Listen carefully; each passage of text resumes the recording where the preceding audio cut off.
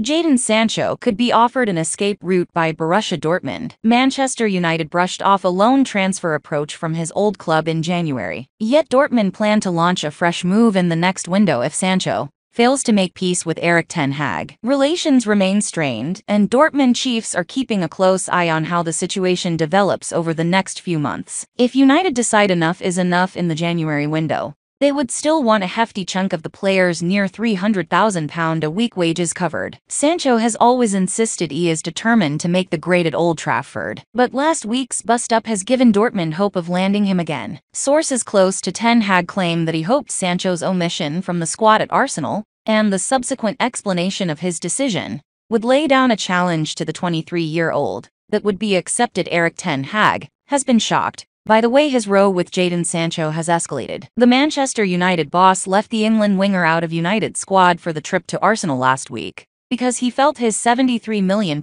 man needed to be reminded of his responsibilities after allowing his performances in training to slip. Sources close to Ten Hag claim that he hoped Sancho's omission and the subsequent explanation of his decision would lay down a challenge to the 23-year-old that would be accepted. So the Dutchman was dismayed when the player responded by posting a rebuttal on social media, claiming he was being made a scapegoat for United's inconsistent start to the season. Sancho wrote, Please don't believe everything you read. I will not allow people saying things that is completely untrue. I have conducted myself in training very well this week. I believe there are other reasons for this matter that I won't go into. I've been a scapegoat for a long time which isn't fair. All I want to do is play football with a smile on my face and contribute to my team. I respect all decisions that are made by the coaching staff. I play with fantastic players, and grateful to do so, which I know every week is a challenge. I will continue to fight for this badge no matter what. The post has remained pinned on Sancho's account for almost a week. Ten Hag feels the whole situation has been blown out of proportion,